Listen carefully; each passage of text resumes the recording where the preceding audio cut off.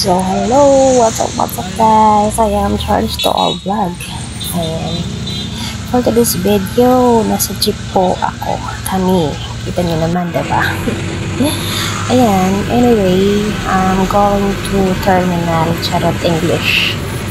Um, sa sa panahon na yan, panahon, sa time na yan, is nasa po ako ng jeep going to terminal po ng Davao.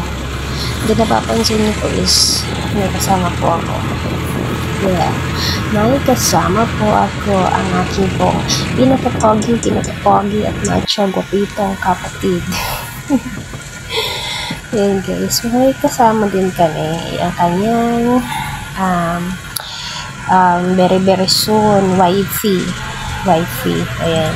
Napakabait at napakamatulungan nila sa akin guys. Kasi ba after kong maglapag galing Maynila um, ang galing Maynila sumakay ako ng airplane diba hindi ko lang po nakuha na ng video kasi um, actually ako po ay naluluna ng hilo so wala masyadong gaanong video talaga. Hili lang naisipan lang ng aking mga mata, ng aking kamay, ng aking bibig na hindi mag-ano ang aking sikmura guys.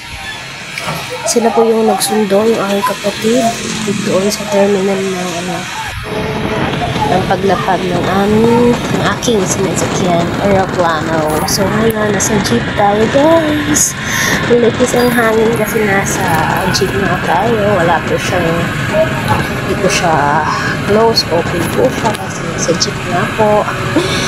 Ayan guys, actually malapit na kami dyan. Medyo marami nang bumababa. May pasahero, may nakaba, may pasahero, may nakaba. So, syempre, si Manong Jeep ay gusto makarami. Hindi, wala tayong magagawa. Hindi hinto, hihinto, hihinto. Dahil po ay sasakay guys. Pasensyahan na rin po yung aking voice over for this video kasi po ay naulan. Okay lang yung naulan. Medyo maganda-ganda yung ating background. Kesa naman yung mga music music channel by the way guys, don't forget to like and comment and actually don't forget to subscribe my YouTube channel. This is me, this is you, I am charged to our vlog. For this video is going to terminal. Inulit ko lang ang sinabi ko kanina. Wala na akong masabi. Yan, natid lang po ako dyan ng aking mga kapatid.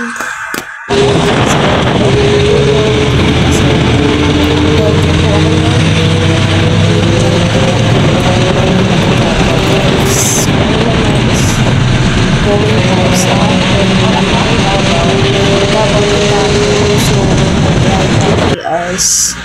After 3 hours na biyahe is meron tayong biyahe pa sa ibang sasakyan papunta doon sa amin. Siguro hindi ko na siya makukuha na ng video, no? Ngayon bumaba na po kami. Dahil andyan na po kami. Naglakad lang po kami. Dahil malapit na lang po dyan. Diyan na lang po diyan. Dyan lang po daw. Sabi yung nauuna ko ng kapatid. Dahil sila po ay may alam. Dahil sila po ang taga dito. Ayan, natakuha pa ako ng video. Uh, nahiya pa ako dyan.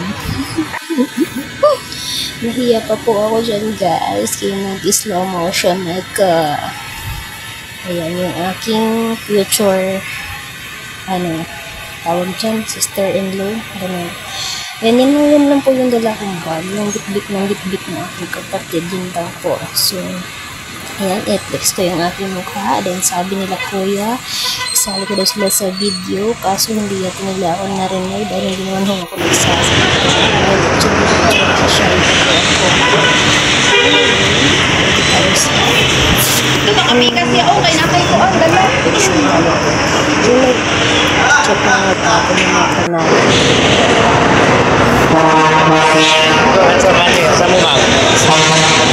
Aking chinek pa talaga.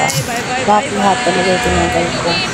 Naisipan ko pa baka may naiwan akong kahit konti. So, ayan guys, nagpaalam ako sa kapatid. Ako po ay nag-hug na si kanya. Then, dito na. Andito na tayo. Ayan guys, nasa terminal na po ako ng Davao. Waiting to go in 3 hours. Waiting to go. So, ayan.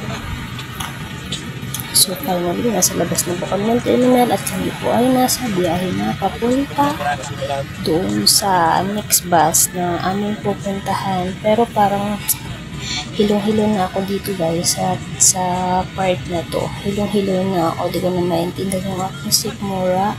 Sana may makuha pa akong video pero kung wala naman po, yun na po yun. Yun na po yung karugtong niya. Wala na po.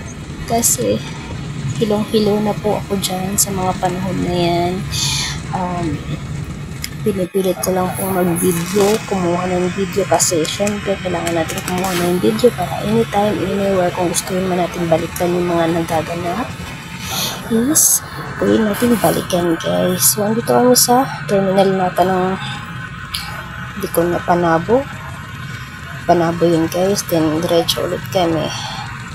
Diretso ng diretso, diretso hanggang sa kami ay hindi ko na alam kung saan kami abutin. Hindi ko na alam kung saan kami abutin ang aking video ngayon guys dahil ako na po ay nahihello.